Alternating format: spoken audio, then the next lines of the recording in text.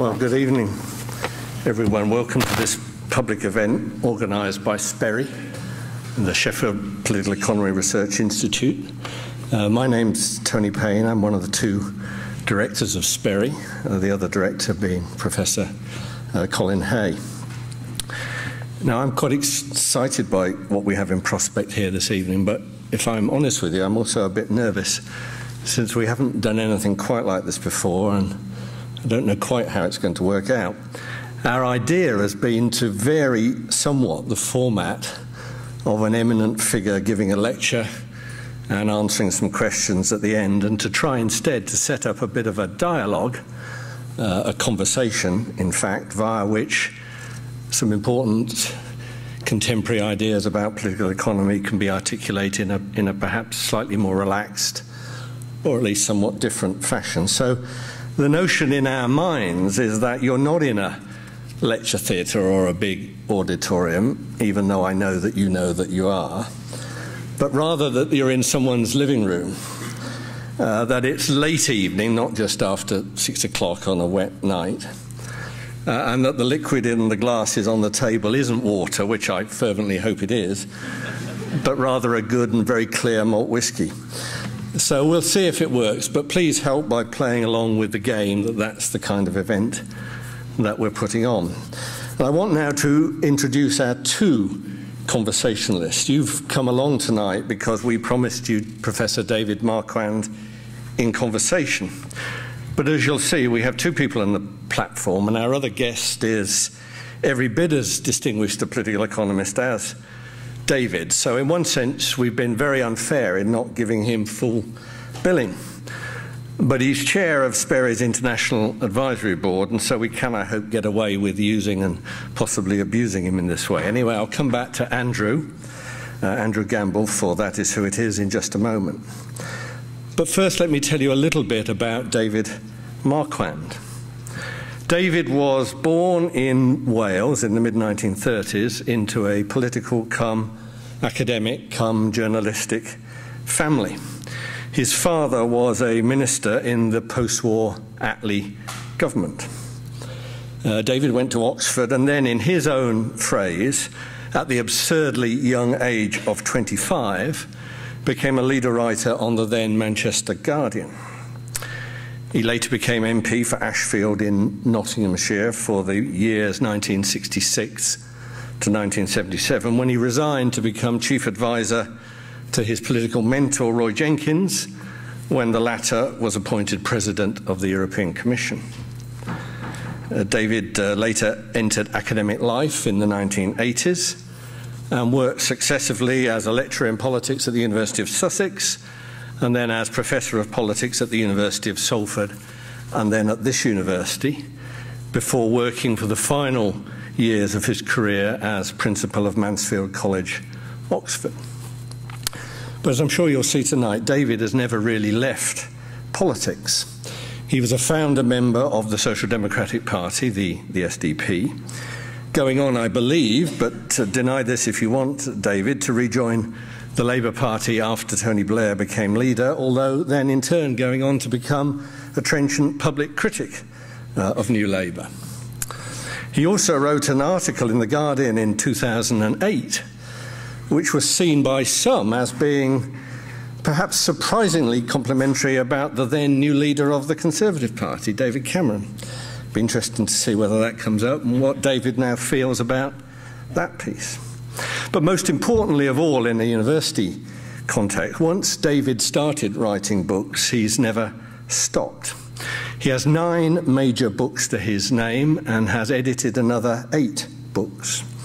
And I want now just quickly to read you the titles of his single authored books, because they'll give you not only the flavour of his mind, of the issues he's interested in, but they also attest to his extraordinary commitment to scholarship and debate over a long career.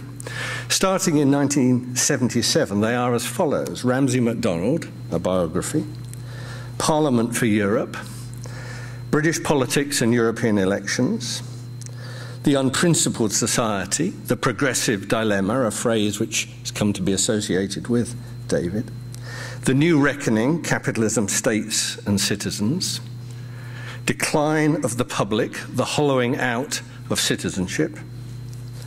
Britain since 1918, the strange career of British democracy. And most recently, just last year, the end of the West, the once and future Europe. It's quite a list. David, we're absolutely delighted to, to have you here. But sitting with David and about to engage him in conversation is Professor Andrew Gamble of the University of Cambridge. Now, as I said earlier, because I know him pretty well, and you can do this with close friends, I'm not going to give Andrew the same lengthy build up I gave to David, but I am going to list some of Andrew's most distinguished publications after the over the last 30 years so that you can see again his wide range of interests and his similar extraordinary intellectual productivity. Andrew has written The Conservative Nation, Britain in Decline, The Free Economy and the Strong State, Hayek, The Iron Cage of Liberty, Politics and Fate, Between Europe and America, The Future of British Politics, and then published in, in 2009 and a brilliantly concise account of the crisis that we are all living through, The Spectre at the Feast. So, Andrew is another legend in political economy. And with two legends on two sofas, I'm hoping that the intellectual sparks will, will fly. I've just one last thing to say at the end of this uh, quite long introduction, for which I apologise, but that is to add that for both David and Andrew, this is also uh, a homecoming. They may now work uh, at the universities of Oxford and Cambridge, respectively. But they were both, and for a period at the same time, uh, professors in the Department of Politics at this university. Both were also, in their time, directors of what we used to call here the Political Economy Research Centre, uh, which was the forerunner of SPERI. So I'm delighted on behalf of SPERI and the university to welcome them here. And with some nervousness, I invite you, Andrew, now to yes. begin the conversation.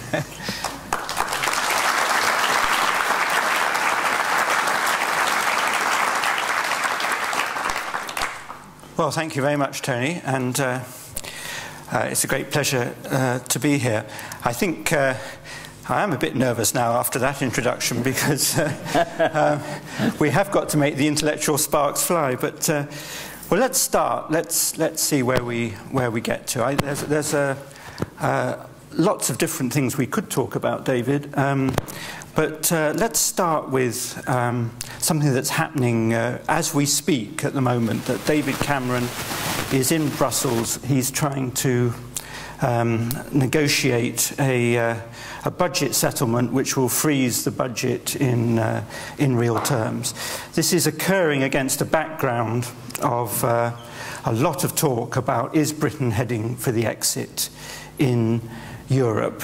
Um, against all the problems that exist currently in the, in the Eurozone, uh, an increasingly assertive Eurosceptic wing of the Conservative Party and the Labour Party uh, sounding much more Eurosceptic than it has done for a considerable time. Um, you have been a, um, a passionate supporter of Europe from the very beginning. What are your thoughts about where we've reached? Well, I think. Um, oh, can I put in a plug first? My, my book that uh, Tony mentioned is actually just come out in paperback. and it's on sale for a very reasonable price. Um, anyway, that, that's enough of that. yeah. Well, perhaps I, since I mentioned the book, maybe I should uh, say this. Um, I, it was actually published uh, last May, of May last year. It was, of course, written before. It was fairly pessimistic. Um, then I had to do a new preface for the paperback edition, which was somewhat more pessimistic. That was written sort of after some of these horrors had happened. When I looked at it just the other day, I thought, my God, this is wild, rampant optimism. Uh, the thing is getting worse and worse and worse. Um, I want really to say three things in, in response to you, Andrew. They're slightly tangential. First thing is, I think the um, crisis is very deep, of course. I think the possibility exists that one or two weak sisters might actually leave the euro. I don't think it would be a good thing if they did, but I think Greece might and possibly Portugal. But I also believe very, very strongly that both France and Germany have put such an enormous amount of political capital, emotional capital, moral capitalism, you might even say, into this project right since, well, virtually since 1950, um, that they're not going to let it, they're not going to let it go. That, I think, is, we, we, we should accept that. Second point is, how is that going to work out? Well, of course, nobody knows. But I think the high probability is that the absurdity, which was at the heart of the euro uh, when it first was uh, brought in, not when it was first conceived, but when it was first brought in, the absurdity of thinking that you could have, if you like, a, a Europeanized monetary policy uh, and retain national fiscal policies. That was never going to work. Uh, and of course, it hasn't worked. And what I think we're going to see is the conversion of the Eurozone into a kind of federal Europe. And the question is, who else is part of it? Um, I think myself that most of the countries, I mean, David Cameron keeps on talking as though there was a huge mass of countries outside the Eurozone desperately waiting for a British lead to smash the thing up. That's not the case. Most of the countries on the continent, which are not in the Eurozone, want to join it. And I think sooner or later will, if it survives. So I think the probability, not certainty, but probability is, is over time what we're going to see on the continent of Europe is the development of what amounts in practice to something very like a federal Europe. It won't be called that, but that's what it'll be. And that then poses the third question, which you, which you started off with, uh, Andrew, about, about Britain and Britain and the exit. Well, I think, I think those who say that Britain is heading for an exit, uh, I, I, deplore this. I think it will be a disaster for this country and actually a disaster for Europe too, because we have a lot to contribute. I think the odds are quite high that it will. But, but, I also think that that question intersects with the tense and difficult question of what happens to the United Kingdom. We talk about Britain as though it was a single country. It's not a single country. It's never been a single country. It's always been a multinational country. Uh, and I think if the United Kingdom did leave the European Union, Scotland would then leave the United Kingdom. Not straight away, but sooner or later. And if Scotland left the United Kingdom, as Tony said, I was born in Wales, and I probably still, I don't know, have a Welsh accent. I know, and I can't speak Welsh to my regret, but still, I feel more Welsh than anything else. I think the Welsh are never going to be happy to be left behind by the Scots. It's part of the history of this whole devolution thing. The Scots, the Scots demand it, and the Welsh think, well, what about us then? Scots have certain powers, The Welsh say, well, perhaps we can have these powers too. And mm. gradually they do. And I think if Scotland left the United Kingdom, which I think is quite likely to happen if Britain leaves the Uni European Union, I think Wales would leave too. So what would be left? Mm. What would so, be left would be England and Northern Ireland. A very strange place indeed. And I, I think that, that needs to be brought into the discussion because they're treated as two completely separate things, and they're not separate things. Yes. I mean, there is this sense, isn't there, that the, uh, the United Kingdom is unravelling at, at, both ends, both the, the European project, which, I mean, uh, next year it'll be the 40th anniversary of our entry mm. Mm. into the uh, European Union. Uh, obviously, the union with Scotland has lasted a lot longer than that. Um, but the, the sense that both these unions, which have defined British politics in, in the last uh, for, uh, uh, for, for, for, a long time, um, that both of them could be unravelling in the next few years. And we could, we could see a, a, a quite different uh, um, configuration uh, in, in, in, in, the next few years? Yes, I think that's quite yeah. possible. And of course, there's another dimension to it too. Part of the myth of the British political class is that we're a special country. Um, I thought we won the war and they didn't, and so on. But not just that. Also, we have this very important relationship with the most powerful country in the world. Because we speak the same language, and they, after all, were a British colony once upon a time, and so on and so on and so on. Well, I think the it's actually a very strange paradox in American politics uh, going on at the moment. Um, the Obama people aren't like that. Some of them are, but a lot of them are not. How many Hispanics in America feel some special relationship with Britain?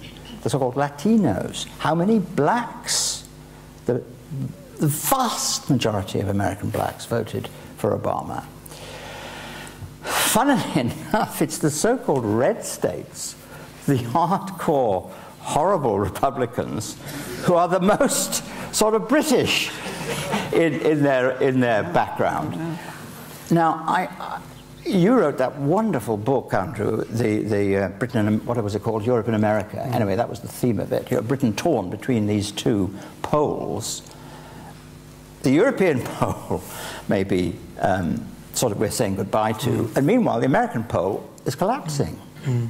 So far as we're concerned. I mean, do you think that because it's one of the puzzles about the current state of British politics is, that there seems to be such confusion once again about where Britain, uh, what, what Britain's identity is, where Britain should be heading. Um, and there's no clarity from the political parties at all. It's, it's still a, it's a very negative debate about, um, about Britain's relationship with Europe, and it's also even the relationship with Scotland is, is discussed in. Uh, very narrow economic, pragmatic mm, terms. Sure. I think it, I don't know, maybe this is something odd about British politics. Maybe it hasn't always been the case, actually. If you go back to the great historic debates of the 19th century over, for example, Irish Home Rule, very profound questions were raised and debated about what sort of country this was, what sort of people we were, um, and um, Yet you're right. Now the Scots talk about it. Scots right? do, yeah. They Scots talk do. about it. They feel, uh, and they're right, of course. This is a historic European country, which is nation state. It was an independent nation state until 1707, after all, and it made a voluntary agreement to join this union with with England. It wasn't ever conquered, um, and they do feel different. And I think part of the reason is a sense that um, somehow Britain or the United Kingdom is becoming tedious and boring and also very right wing. I, I, I, actually had talked to a, rather strange uh, meeting for me. Um, out of the blue, I was invited to talk to the London branch of the Scottish National Party. it was a very odd occasion. They were very nice people. They were terribly learned, actually, and perhaps rather Scottish, because they talked about Hegel all the time. But I, I, couldn't quite see what that had got to do with it. But anyway, they, they, one, a, a, young guy there said to me, look, he hadn't said anything while all this talk about Hegel was going on. Um, and then he said, look, for me, it's very simple. I think British politics are sunk in a kind of swamp. It doesn't seem to make any difference whether it's Conservative or Labour. It wasn't as if, I mean, the Conservatives are worse than Labour, but it's not as though the Labour Party, the Labour government of the new Labour period was particularly wonderful either. I think we can do better in Scotland. Mm. We are a social democratic nation. We have a social democratic culture. And so why not have a go? Mm. And I, I, have to say, I found it very difficult indeed to answer yes, I was going to ask you, I mean, do you, do you, uh, would you actually regret if Scotland left the United Kingdom? If Wales left too, then I wouldn't. okay. Because we, we, the Welsh have got a social democratic culture. In fact, they're slightly more left wing than social democratic. Mm. No, sorry, that's. Uh, mm. Okay. And, and, and, and in relation to the European Union, do you think that. Um, I mean, you say that you would be very much against Britain leaving the European Union, but do you think it would make. Do you think it would matter if Britain left? I mean, given that we've become so detached over the years, would it really matter if we, if, if we were now outside? Mm. It's a very tough question, actually, if you think about it seriously, isn't it?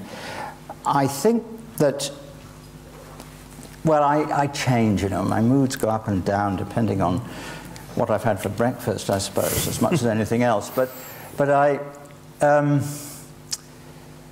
I suppose I feel, well, bit of me feels if we're going to be like this, sulky, grudging, uh, not really accepting that we're part of it, looking at it entirely in terms of cost benefit, we put this in and we want to, we want to get that out, basically trying to be free riders, which is what I think we are doing economically, uh, on, the, on, on the rest. If that's what we're going to be, well, we might as well leave. Mm. What, what's the point of, of mm. being in? On the other hand, I suppose another bit of me says, well, um, this is actually a European country. We do not inhabit uh, a sort of rock in the middle of the Atlantic like St. Helena or somewhere. We are actually part of this continent, whether we like it or not. It's a fact of geography. Um, and um, it, would, it would mean a big rupture, actually, in our tradition and our history, which I think would be much more painful uh, than it would appear to be at mm. first sight. Mm. After all, we didn't go in at the beginning. Mm. We didn't go in at the beginning because of all sorts of reasons, some of which were not so stupid. Um, then Macmillan came to the conclusion that actually the Europe of the Six was going to succeed which a lot of people had thought it wouldn't. But by the, the late 50s, early 60s, it was clear it was going to succeed. And Macmillan then decided we'd better join. And it wasn't our fault that we didn't join, mm. it was de Gaulle's fault.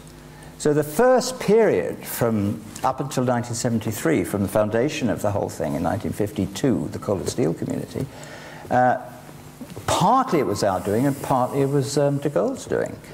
Um, so I think we have a, actually what I think is, I think we have an ambivalent sort of love-hate relationship with the continent of Europe, actually. Mm. A very large number of uh, British people actually own houses in France.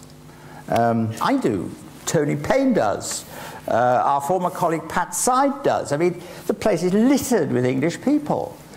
And it's true that some of them live in a very strange Anglophone ghetto and, and never speak to the French, but not all by any means. Um, so, and a lot more live in Spain as well. Um, Peter Lilly has a house there too. Peter Lilly in Spain or in France? In France. Oh, right. Oh, well. Uh, do I want to sell my barn? no, I, I, so I, I think it is, I don't know. It, there's a sulk about it all. I think that's it. And I think sulks are bad for you. Very bad, particularly if they've lasted for 40 years. Mm. Mm. There is a, I mean, I've, I've been uh, reading Hilary Mantel's books on Thomas Cromwell recently. Yeah. And I mean, uh, actually, one of the very interesting things about that is the, the, the, the very strong drive towards supremacy, the English supremacy over the church, yeah. and the way in which I mean, the, way in which that became hardwired into the culture and the rejection of the universalism of Europe, which was represented at that time by the Catholic Church, I mean, that you still hear that in so many arguments today. You hear it in, in the arguments about the. Um, um, about, about prison, votes for prisoners and so hmm. on. And, hmm. and it, it's, it's this argument that the English Parliament should be sovereign and should decide and should not be bound by any external power. And that's exactly what um, Henry VIII and, and, and, Thomas Cromwell fashioned. Yeah. The... And there's an interesting sidelight on that. the Church of England is actually quite unique.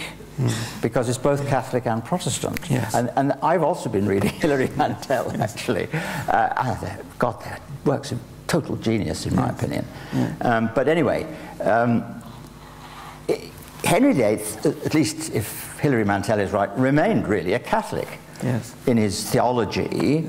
Uh, and he just wanted, he didn't want to have the Pope telling him what to do. Um, and the eventual compromise was, I think, explicitly described as a via media, a middle way between Geneva and Rome. Uh, unique, actually, mm. unique in Europe. Um, Mansfield College, which, as Tony said, I was principal of for a time, was actually founded by Congregationalists. And one of the, the statutes say that it has to have a chaplain from the Reformed tradition. The Reformed tradition does not include the Church of England. It's not really Reformed. It does include the Scottish Kirk. Yes. And it does include, of course, the Dutch Reformed Church. Yes. Now, maybe this has got maybe this has got something to do with the Scottish attitude towards Europe. Yes. Calvinism is European. Yes. Yes. Uh, and of course, so is Catholicism, which is the other main religion yes. in, in, in, Scotland. Yeah. Um, so maybe that is something to do with it. I, I never thought yeah. of that before. Yeah. Hmm. Well, let, us go on to another big topic, um, which is the financial crisis and the politics of austerity. I mean, it's, it's, it's four years now since the financial crash, um, and it's become increasingly clear that this wasn't just a, um, a small event, but, but it, it, it's clearly an event which is defining a whole era now of, of economics. Um, I just wonder if you'd like, uh, so you've written a lot about this, David, um, whether you'd like just to reflect on how, what you think the main features of this, this period are now that are developing in political economy in the wake of this these events. The trouble with you, Andrew, is that you keep writing books which tell me what to think. and, and, your book on the Spectre, which I, I thought was a brilliant book, uh, sort of lived with me ever since. And you said a very interesting thing in that book, that, that you can have crashes, and crashes happen periodically through the history of capitalism, and you, after, you know, they're nasty while they last, but people pick themselves up. But crises, I seem to remember you saying, are different. Crises only happen infrequently.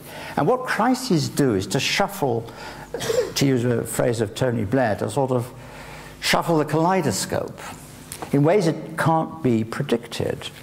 Um, and this, the, the thing that I find bizarre, actually, about the present crisis is that, because it is a crisis, not just a crash, is that um, whereas the Great Depression, the, the, the, the, the crisis that started with the Wall Street crash in 29 and went on deep into the 30s, that crisis uh, led to very dramatic departures from the pre-crisis orthodoxy. Um, in Germany, in a very unpleasant way. In the United States, in a rather attractive way. Actually, even Britain, often thought of as a sticking doggedly to the old orthodoxy. Even Britain didn't, as a matter of fact. Britain went off the gold standard. Uh, Britain abandoned free trade, uh, set up the sterling area, uh, and had imperial preference. Big departures from the previous century and more uh, of British economic policy. This time, it hasn't really happened. Um, where is the voice that says, as Roosevelt did in his first inaugural, drive the money changers from the temple? Who's saying that? Mm. Nobody. Certainly not Nobody. Obama. Certainly not Obama. Mm. Uh, certainly not uh, actually David Mil- uh, Ed Miliband. Not mm. really. He's doing a bit of it, but it's not very wholehearted. Mm. And I, I think what we're seeing is a very strange. There are arguments about if you like, fine tuning. Uh, the conservative, gov- the, the co- coalition government's approach is basically that of the um, pre Keynesian orthodoxy, trimmed up a bit. and the Labour opposition, not totally wholeheartedly, is basically adopting a Keynesian approach. But it seems to me that these differences are much less great than they seem. Because what strikes me about the two major parties, and, and actually the Lib Dems as well, is that they, they, they, they wish to take different routes to the same destination. Mm. And that destination is, is business as usual, pre crisis business as usual.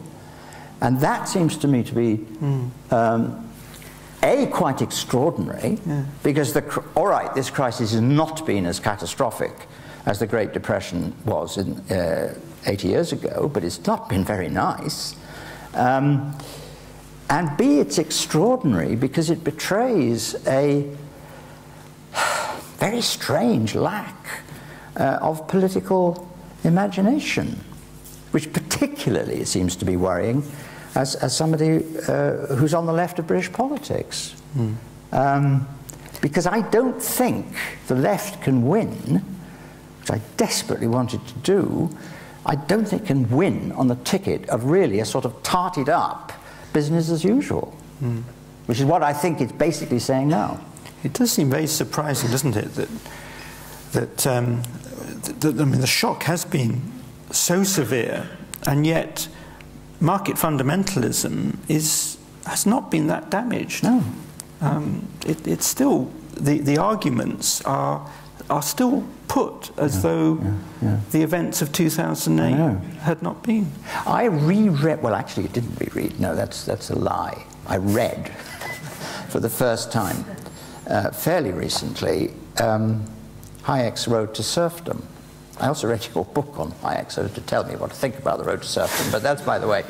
Um, it's a marvelous book. It really is. Um, I mean, I disagree with it. I, I, uh, page after page, I was saying, no, no, no. but you know, it's utterly brilliant. It really is. It absolutely crackles with intellectual excitement and a kind of savage contempt for mm. his enemies. Yes. He, later on, he became a bit more pompous and dramatic. but that book is a great, great book.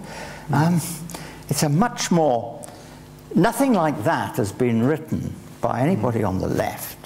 No. Well, for God knows how long. No. I think the last person actually who's written something of that sort of that kind of emotional power was Tawney's Acquisitive Society, and that was written in 1921. Yeah.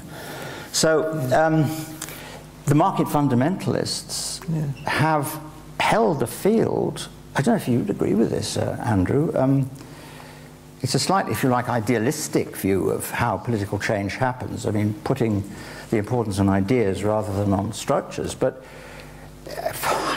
does seem to me part of the problem is that nobody on the left has had the imagination, the genius, mm. to counter market mm. fundamentalism in a really fundamental way. Yes, of course, there's a lot of kind of people complaining about it mm. and hmm. saying how horrible it is and how cruel it is and so on. But there's got to be more than that. Yeah. And clearly, I mean, I think uh, when, when you say everyone wants to return to business as usual, um, you're, putting your finger on something which is very important, namely that, that nobody can actually in, in the conventional political universe, nobody can imagine a political economy which doesn't deliver growth. And yet, it's pre- precisely this, the problem of growth, which, uh, and, and, and whether, uh, whether we can rely on growth in the future in the way that we've relied on it in the past, which uh, seems to me to be put in question by this crisis. And I think you've, yeah. well, I think you've, that, you've, you've, you've, written about I, this I, too. I, I, do think that. Um, I say it very hesitantly because, um, I mean, I suppose in one, I'm not an economist, you see. I mean, Andrew is a sort of economist. Um, part of me thinks, well, to say no growth is actually absurd because um, change equals growth in one sense. So an economy that's changing, and you can't imagine a totally static economy, is in one sense growing. But I, what I do think, though, very, very strongly, is that the uh, green critique of um, if you like, the kind of economic growth that we've been having, or not all through my lifetime, but certainly all through my, well, really since the age of, since 1950, when I was about 18, um, all that time we've been having a particular model of growth, and that can't go on. Doesn't mean to say that uh, people's standard of living in some sense won't improve, but it won't be improving in, in the terms in which standard of living has been conceived mm. for this very long period. Um, that, that I feel in my guts. I can't, so to speak, mm. explain it intellectually, but I just have that feeling. And um, so, the connection between that green perception, that, that, that feeling, the gut feeling, and what's actually happening, that connection doesn't seem to be there. There's a complete mm. disconnect mm. between the political class and, and that uh, view of the world, and view of human beings, and view of nature. Um, and um, you know, what the, what the conventional politics is doing, the business as usual people are doing, and say, well, you know, we, we can have a few wind farms, and uh, we can have electric cars, this and that, but, but I don't think that's getting to the heart of the matter. Now, how one, how one imagines a world where you have to change that mindset quite fundamentally is, is, is mind boggling, and I don't mm. know the answer to it. Mm. But I do feel, so as I say, I kind of feel that it has to happen. Yes. I mean, I think it's the, uh, well, I mean, there's this recent book by Robert Skidelsky and Edward Skidelsky, mm. Um, mm. How Much is Enough? Um, I mean, I think it, it, it's, uh, it's being discussed um, by, by people like like them from a, um, a, a, a, a, progressive position. It's also being discussed a lot in the United States at the moment by people like Tyler Cowen, who's talking about um, we, have used up all the low-hanging fruit. There's no mm. more. Um, there's no more technological innovations to be had, um, and we've got to get used to a, uh, a, very different kind of society which can't any longer afford welfare and can't afford large public programs. Um, and we've and it's got to get used to uh, permanently um, low growth. Um, and either of those positions, I mean, uh, it seems to me uh, that if either is uh, even half right, then the sort of changes, sort of political changes they imply, are absolutely immense for the political parties. And it's understandable the political parties don't want to know about this because the, uh, uh, the implications in terms of, of winning votes and, and, and governing um, are just too horrendous. So everybody is hoping that after an interval things will resume as normal, uh, that, recovery will happen that um, steady growth will come back and there will be a growth dividend to distribute in the form of rising living standards and uh, uh, increased public spending. Um, and that whole political economy model, though, is premised upon the possibility of coming out of this crisis with, with renewed growth. Of the sort we had before. Yeah. I do, I do insist on that because I think, yeah. I think uh, the kind of what we have conceived of as growth can't yeah. go on indefinitely. That doesn't mean yeah. to say the economy has to be absolutely static. No. And, and it doesn't, by the way, either. I don't think the people who say there are no technological innovations to come, I think that's highly unlikely. No. I well, I think there are some, but I mean, there, yeah. there, there, are, a lot of economic historians now who are saying actually um, the IT revolution, although it's produced a lot of technological innovations, they're not fundamental technological innovations in the way that uh, the internal combustion engine or electricity or running water were in the past, and that we haven't got the scope for productivity increases in the future that, um, um, that, that previous generations were able to rely on. And I, and whether that's right or not, I think, is going to be one of the fundamental determinants of how, how this crisis plays out. But then that, of course, is making a slightly different point, isn't it? Mm. I, I, it's not therefore wrong. In fact, it's rather quite likely right that um, is not saying that we shouldn't try, is saying we no. can't anyway, even well, if we did right. want to. Yeah, we can't. We can't. Because yeah. of this point about productivity. So, yeah. Mind you, though, if you look, I mean, there is another way of talking, isn't there, about this, which is um, of long waves, that you have a period of technological innovation um, which uh, does produce a huge um, shock, in a way, to the system and it takes time to be absorbed. Um, and then it is absorbed, mm. and then you proceed fairly steadily along the path that that wave of technological innovation is produced. Um, and then that sort of peters out, and another yeah. wave of technological innovation start to happen. I mean, I, I, I, find it hard to see how you can say that there cannot be new fundamental technological no. Well, I mean, who right. can say that? Who can say, nobody can say that. No. Nobody can say that. It's just that we haven't had one no. um, so far. Um, I think we, it's almost time to open up to the uh, to get uh, some questions and answers. But but just let's just close on, on, on one thought, David. I mean, you're, you're, you're very well known for writing throughout your career about the progressive dilemma. Mm. Um, so what is the progressive dilemma now at, at this moment? What, what, where have we reached? What, what's the. I think the progressive dilemma, the progressive dilemma that I was talking about was really the dilemma of people who um, had been part of this broad based progressive coalition before 1914, uh, after the Liberal Party uh, collapsed as a serious political force. What were they going to do? Um, Many of their values were not quite the same as those of the rising Labour Party. Um, on the other hand, they were also, most of them anyway, pretty firmly anti conservative.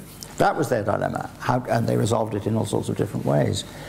Now, I think the dilemma maybe um, poof, go deeper in a way. Um, I went recently to a um, a curious sort of weekend uh, conference or half weekend conference run by an organization called Compass, which some of you may or may not have heard of. And it was very exciting and very exhilarating, and I was thrilled to be there. And there were lots of splendid people uh, doing all kinds of uh, things for, you know, the Green Party, the Friends of the Earth, uh, Occupy movement, UK Uncut, um, all of this bubbling around. And what struck, and then, but what I found quite remarkable was how turned off these idealistic, mostly young people, certainly in comparison with me, young people anyway, um, how turned off they were from formal political, formal politics. And I think that's partly uh, it's happened to a certain degree all, all over the democratic world, I think, but it's particularly noticeable in this country. Um, the, uh, and partly it's the consequence, let's be blunt, about the, of the deep disappointment that so many people on the left felt uh, with the um, new Labour regime of Blair and Brown. And it hasn't recovered. That's part of the reason, but I don't think it's the only reason. So maybe the dilemma, the progressive dilemma of our day is how do pe people who, are progressives, how do they relate to the formal political process? Because I love UK Uncut. I think these are great people. I love the London Occupy. Uh, you know, I love the campaign for a living wage that's been going on in London. I mean, all of this is wonderful stuff. You can't not admire them. But um, I'm old fashioned enough to think that in the end, if you actually want to change society, um, you can't only do it by this kind of uh, splendid, effervescent, and exciting uh, extra political activity. You have to, you have to, in the end, be prepared to, to some degree, compromise because politics is about compromise.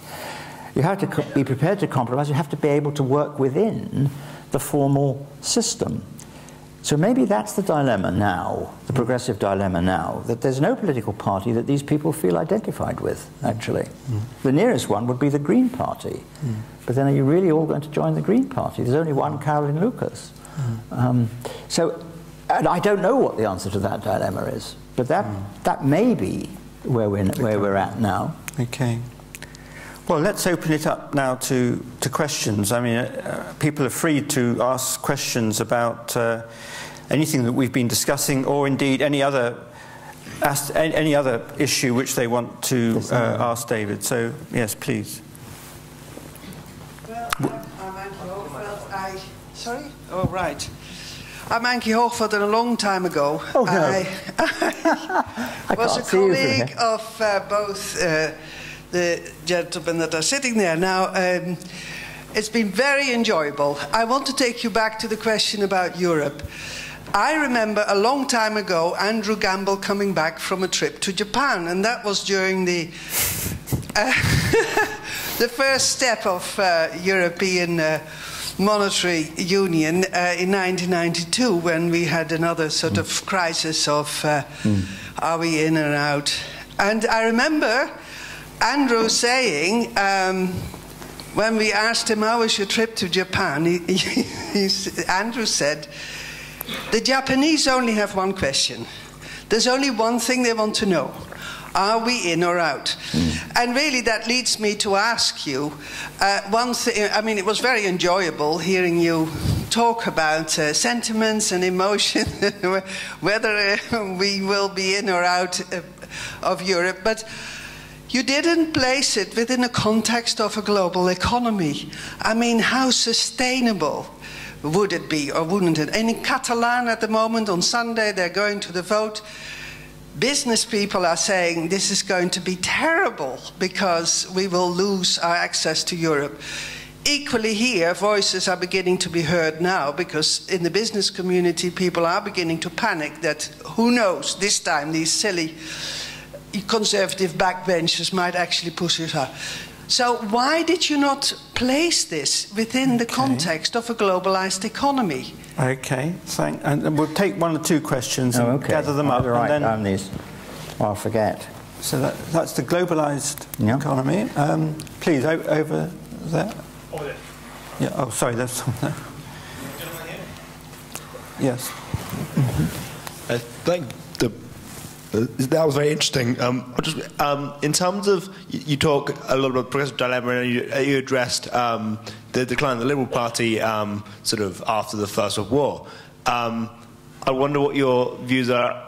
Are the Liberal, the Liberal Democrats now, as they are, are going to go through a, mu a much wider decline um, now, rather than just political difficulties? And, do you, and what do you feel mm. is the contribution of third party politics going to play in the next sort of 15 to 20 years? Thank you. Mm. And the third one, there was someone over here. There's someone back there.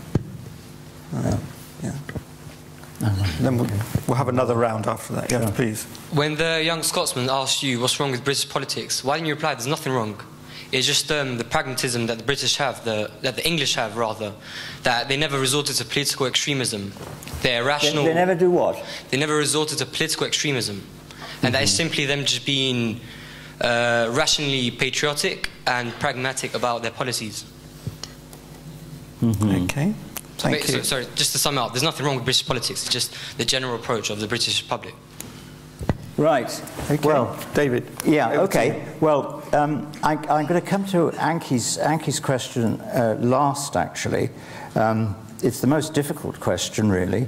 Um, the question about the, the Liberal Democrats. Well, I think there has always been, at least since the late 19th century, uh, two sort of two wings in the Liberal Party and then the Liberal Democrat Party. There have been what you could call the social liberals, and there have been economic liberals. They've not been totally separate, they've overlapped.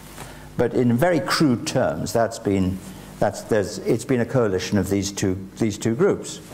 And the social liberals have been in the ascendant, certainly, um, for most of the time since, uh, since the Second World War, with a few sort of, you know, exceptions now and again. Um, what's happened in the present uh, period is that the um, economic liberals uh, have, as it were, taken over. Um, the so called Orange Book liberals. If you read the book written by David Laws, who is the most uh, potent and powerful and vociferous and impressive of, the, of the, what I'm calling economic liberals, it's perfectly clear that David Laws just hated the Labour Party. They didn't want to be part of a coalition with the Labour Party. This was a complete, this was just, they wanted, he wanted to be in coalition with the Conservatives um, on a broadly economic liberal um, project. The social liberals don't know what's happened, don't know what's hit them really. It's been quite horrible for them. They've um, hummed and hawed, they've tried to do this and that. Vince, Vince Cable is clearly really a social liberal, although he also contributed to the Orange Book. Um, and they, in a way, they've lost the plot, it seems to me. Now, the future of the Liberal Democrat Party, I think, is going to depend on how that struggle um, plays out. And I, I don't know is the only is the only honest answer to that question. I don't see how you can know really what how it's going to play out. Um, but I imagine that the Liberal Democrats will do badly in the next election. They won't do as badly as people think, I suspect, but they probably will do badly, and it partly depends on who survives. So, but but the battle is open, I think now, um, and in that respect, we've seen um, a rather remarkable uh, so to speak, you might almost call it a counter-revolution in the liberal, in, in the liberal slash liberal Democrats, because they've been on the social, on the social liberal um, thing for a very long time. That was certainly David Steel, uh, and uh, broadly speaking, not totally, it was Joe Grimond, um, and it was most of the leading people in the Liberal Party, and then the Liberal Democrats. That's why it was so easy for the Social Democrats and the Liberal Democrats uh, and the Liberals to merge uh, in, in the way that they did. Um, so that I think is, is, you know, is an open question. It's a very interesting question, but I don't know the answer to it, I'm afraid. Uh, we'll have to wait and see. On the question about England and England's uh, extremism and pragmatism and being that big the difference between the English and the Scots, I think that's what you were really getting at. Um, well, hmm, yes and no. Um, I think most Scottish people would rather resent being uh, told that they're extremists and not pragmatic. Um, I'm not sure that that's true. I think the difference is that um, England is actually a very strange place. Very, very strange. Um, I, don't I don't know what the position is in Sheffield now, but when I was living in Sheffield and before that uh, on the edge of Greater Manchester, it occurred to me that the the political culture of the north of England was rather social democratic too. It's actually the south of England who are the problem, um, and uh, where I now live. Um, and the, the, uh, so I, I, I, don't think there's this huge difference in, in, political style and, and, culture and so on between the English and the Scots. What, what I think is true about them, um, I think the Scots are much, I mean, it's one of the reasons I like Scotland and Scotch people so much. It, they're very argumentative. And they, and they, and they, they go at it, you know. They're, they're not, they don't, there's no sort of messing with the Scots.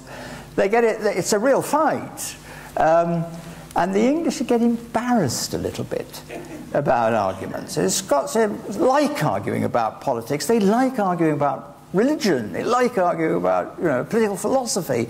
The, the English regard it as being a little bit sort of not quite genteel, but sort of. Uh, so that might be a difference of style.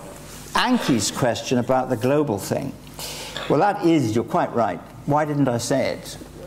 I don't know, because I didn't think of it. anyway, um, I'm sorry I didn't, I'm very glad that you've, you've raised it because it is obviously a crucial question. I think there is, amongst the conservative Eurosceptics, at least the most vociferous of them, a sort of vision. Uh, it's not always articulated very clearly or well, but is a, there is a vision of how, of how a, non, a, Britain outside Europe could fit into the, the global economy which is developing.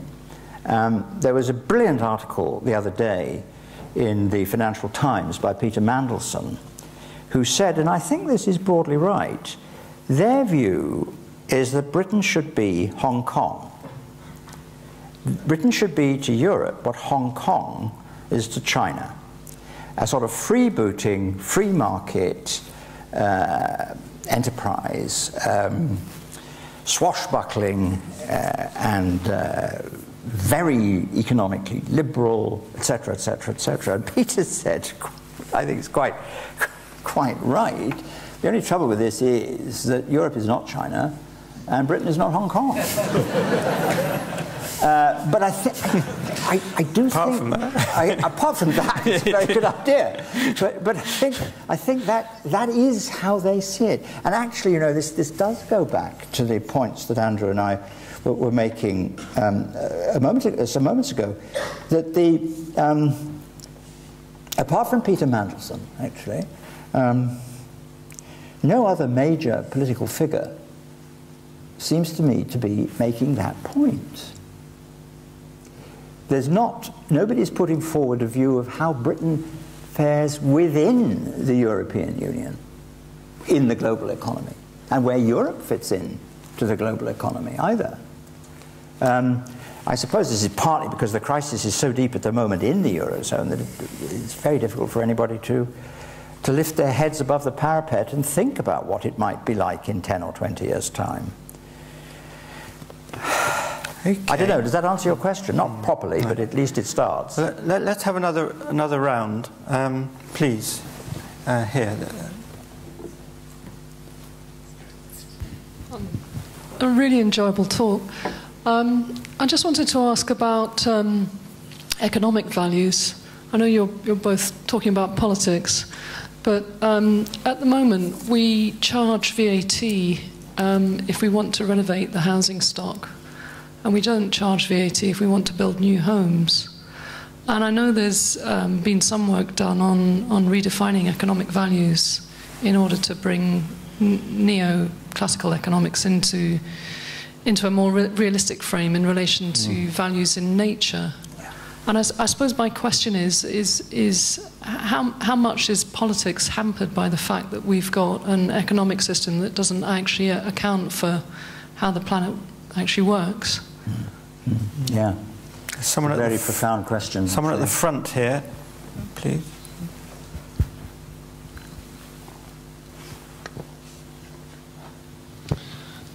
Um, David, if um, the UK leaves uh, the European Union, and if, as you say, um, surviving as independent nation states within this emerging global economy that we've been touching on is simply untenable, should England, the UK, join Alaska and Hawaii and become part of the United States?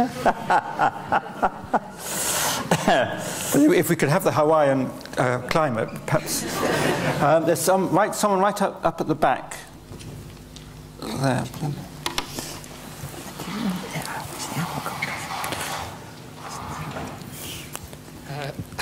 You've uh, spoken a little bit about disillusion with politics. You mentioned that the, uh, the London SNP are, and well, as a Scot myself, this is a sentiment I agree with to some extent. You mentioned that young Compass members are also quite annoyed with the way things are, and so this is a point I wanted to return to. Um, so basically, why are people so disillusioned with politics? Um, you did touch on this a bit, but I wonder if I could push you for some more information. Is this just a problem with New Labour, for example, or is it something more? Is it a problem with the institutional nature of the British state or, or of British democracy?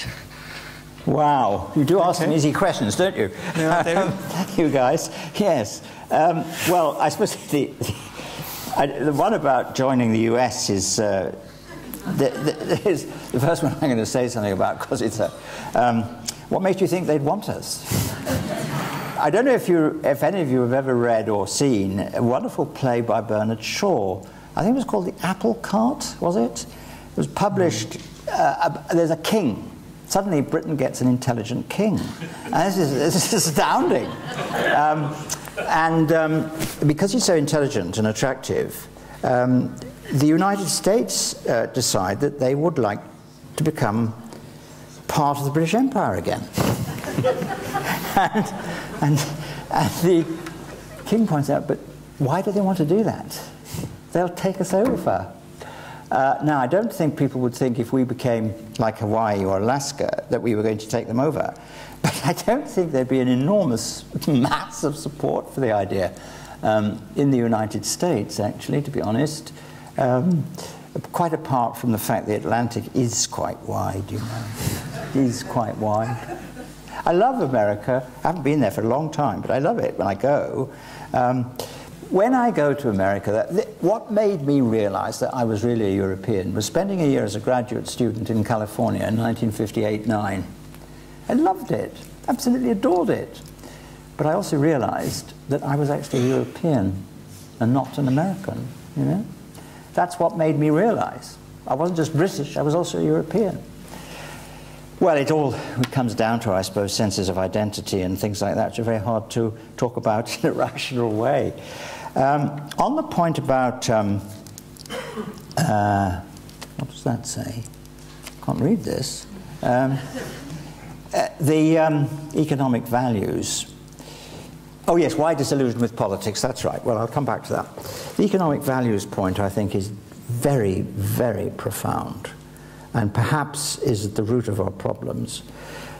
If you go back to the founding fathers, and they were fathers, not mothers, uh, mostly, uh, or perhaps all entirely, if you look back to Adam Smith, to David Ricardo, to Karl Marx, who after all was an economist as well, um, and even up into the 20th century, even as late as John Maynard Keynes. For them, and, and, and Marshall, the great, famous, well, I forget his first name suddenly, um, Cambridge economist at the end of the 19th and beginning of the 20th century, who was Keynes's sort of idol for a long time. These people were, in the first place, they, were, they had a, a view of history. Um, one, one or two of them, actually, the first people who held economic posts at Cambridge University also taught history. And they were also, if you like, public moralists. They thought economics was related to morality and moral values. Adam Smith certainly thought that. The first famous book he wrote, the one that made his reputation, is called The Theory of Moral Sentiments. Um, now, that way of looking at economics as a, as a broad, if you like, human discipline uh, got overtaken in the second half of the 20th century, I think, really, by mathematicians. And mathematics drove out political economy. That's why we started the Political Economy Research Center, which this outfit now is the, is the descendant of because in a way we wanted to go back to that view of economics as part of a, of a sort of broad human um, inquiry, uh, which would include values as well as just techniques and mathematics. Um, and that, I think, is part of the problem that we're now in. The book of um, Robert Skidelsky and his son Edward Skidelsky, which Andrew mentioned just now, uh, How Much is Enough, what, what they have done in that book is to look way back to philosophers and theologians in the, in the much more remote past. I mean, starting off with Aristotle and then Aquinas and the thinkers of the Middle Ages, for whom economic life was part of social life, which was also, which also had by definition a moral dimension. And that, I think, is the problem a large part of the problem that we now face. Um, that it's become a technique, very, very clever technique. I mean, entrancing. I can see that if you've got a crossword puzzle solving sort of mind, it must be wonderful to play these games. Um, but it's not got anything to do with what happens in the world. And as I say, morality has gone out of the window. It needs to be brought back in. And I don't know, maybe SPERI will finally succeed in doing that. We go back to Aquinas. That should be your motto, uh, Tony. Um, but um, anyway, the, the, the, other thing about disillusionment with politics, I think, um, well, the first thing is I think we should, we should recognize that, in one sense, that there was never a golden age. Uh, people were saying horrible things about politicians in the 1930s, uh, in the 1900s, in the 1830s, in the 1730s. and, you know, they've always thought politicians were disgraceful, selfish, greedy, liars. And on the whole, they were right. Um, Shakespeare has some very nasty things, actually, about, or, or like a scurvy politician, seem to see the things thou dost not, you know? So that, that's one point to make. Um, avoid golden ageism. However, I think there is something has happened to British politics, and not only to British politics, it's true in America as well. It's true, I think, in most continental European countries, though I don't know them well enough to be sure. Politics has become, in a strange way, professionalized. Professionalized in rather a bad concept of what a profession is. And if you look at the careers of people in politics now, um, a kind of standard career, well, take Ed Miliband. Very nice guy. I'm all for him, and I hope he wins, and I hope he becomes prime minister. But what has he done in life, actually? He's, uh, you know, he got a good degree from a good university.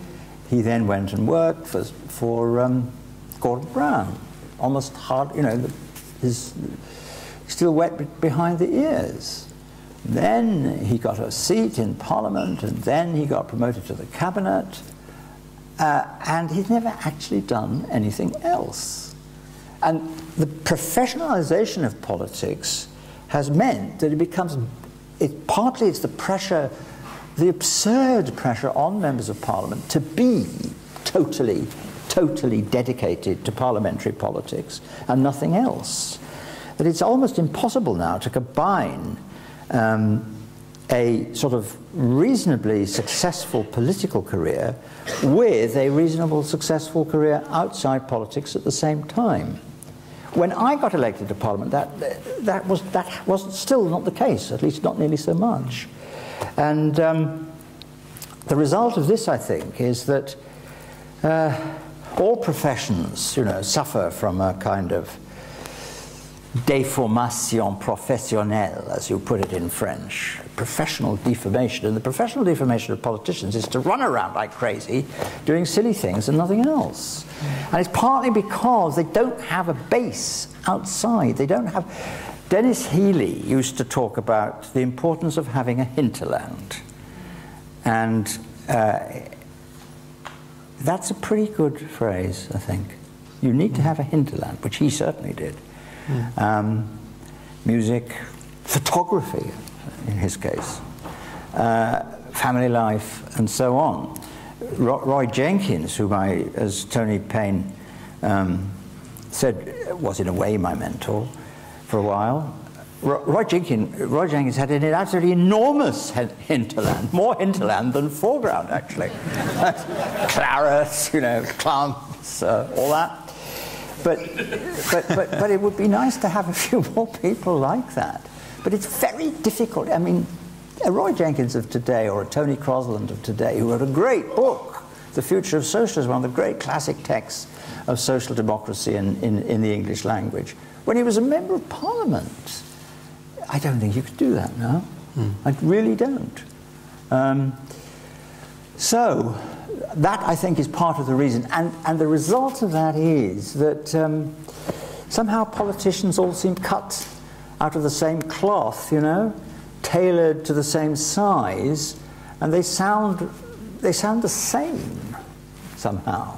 When you hear them on the Today program or something like that, they're arguing with each other, you feel it sometimes that they're not really real people at all. They're sort of marionettes. Hmm.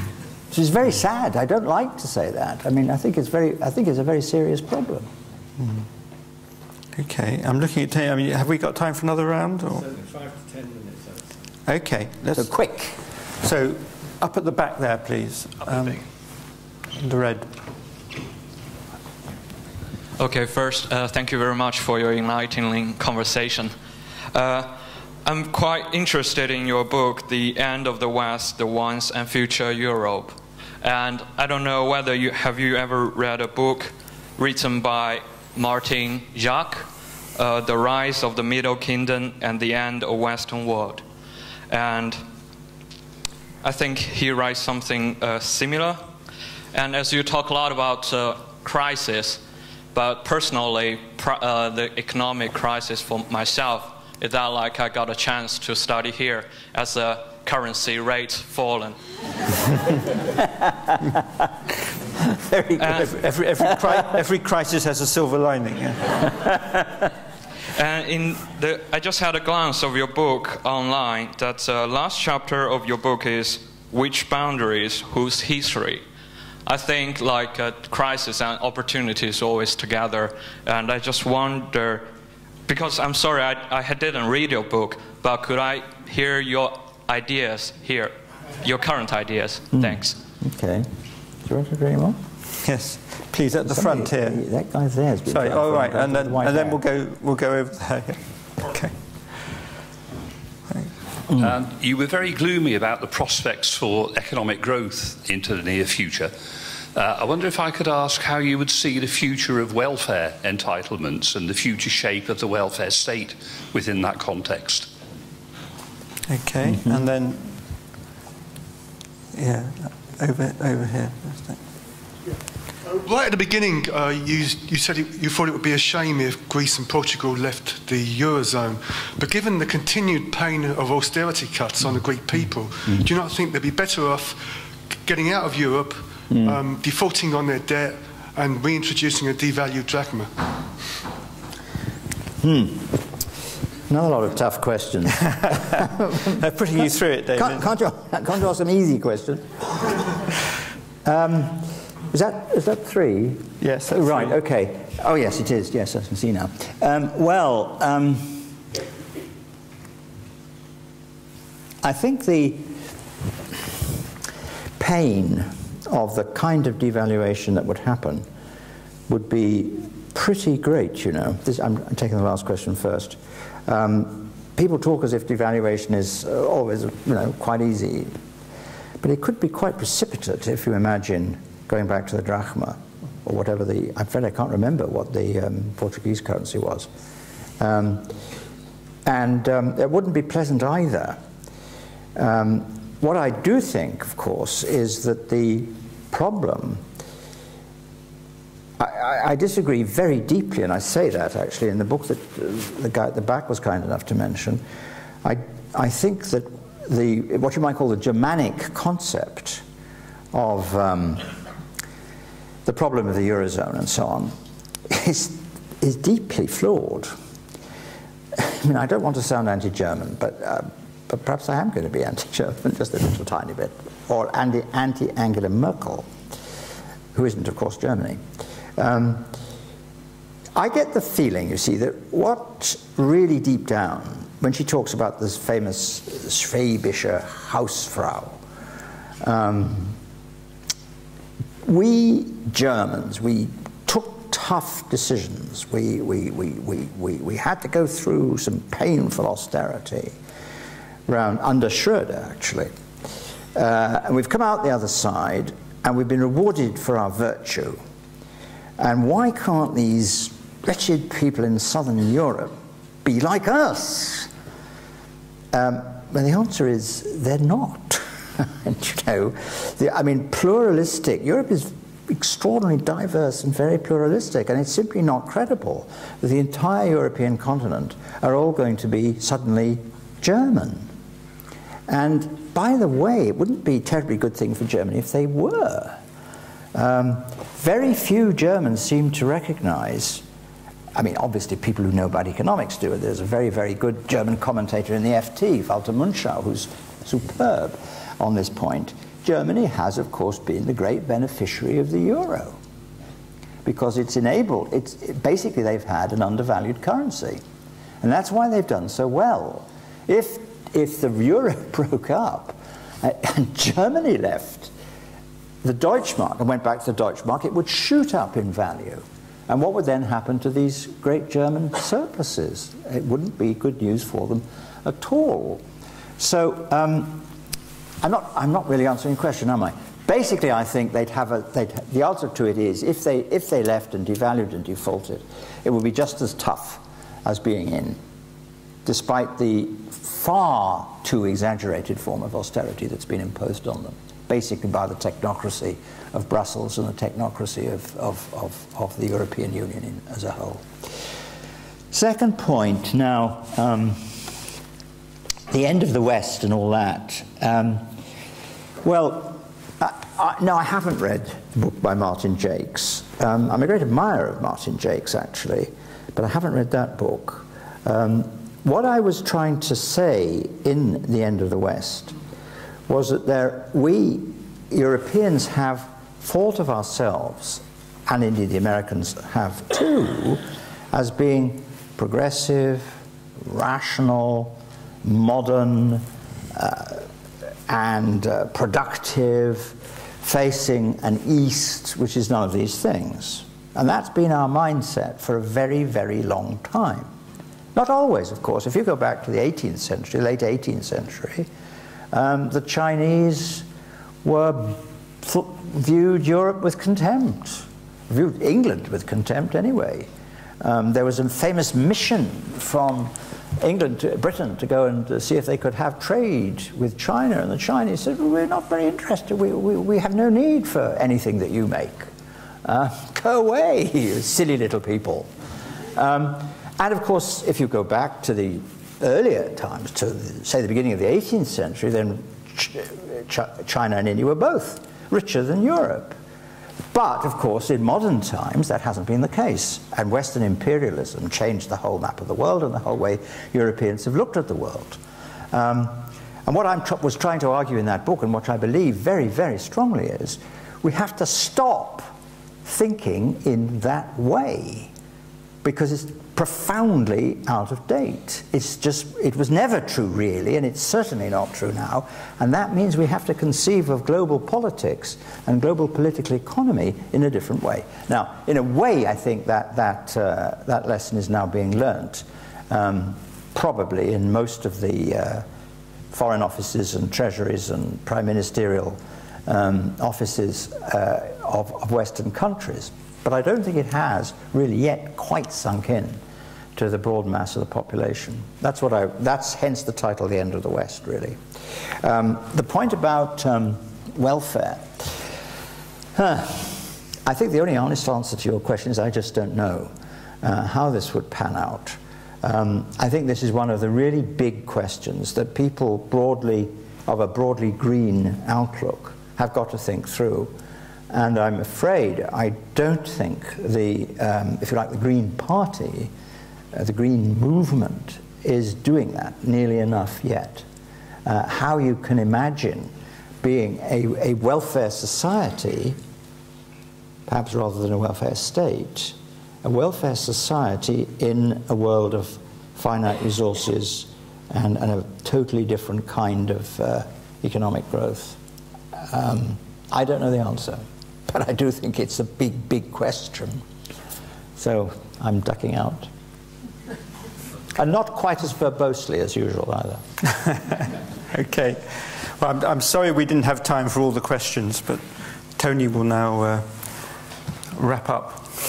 Yes, I just want to, to uh, wrap up and, and thank uh, David and Andrew. I thought that was a extraordinary rich exchange from which we'll each take different things. I've got to go back to Aquinas I've got to start speaking more French to my neighbours in France. uh, and we'll all take lots of, of different uh, observations and thought provoking and rather nagging ideas from that exchange. I want to thank Andrew, as you saw, was much more than just the interrogator. Uh, uh, old friends, nice to see them both back here in Sheffield. Uh, I let me know whether you think this in conversation format works. I rather liked it, and I think we might try and make this an annual SPERI event. But for now, please join me in thanking Andrew and David very much.